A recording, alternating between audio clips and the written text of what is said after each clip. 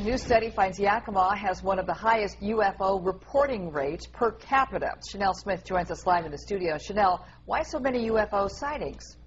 Christine, the study was released by Popular Mechanics. It shows by county the number of UFO sightings reported from 1947 to 2005. Now, Yakima County ranked fourth among small cities with 227 sightings, and King County was second with 621 reported sightings among major metro counties. One Center for UFO Sightings found there was an increase in areas near military training zones. Now, there is a training reservation in Yakima, which could be one of the reasons. But I talked to the director of the National UFO Reporting Center, which has been in Seattle since 1974 and recently moved to Lincoln County. He says it's more important to report when you saw a UFO rather than where, because according to him, UFOs can travel very fast.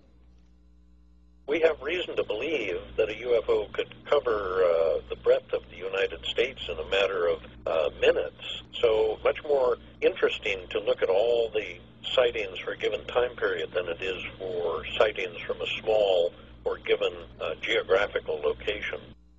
Now the director asks if you see a UFO, write down what time it was and maybe a paragraph about it on the center's website. And you can find a link to that on our website.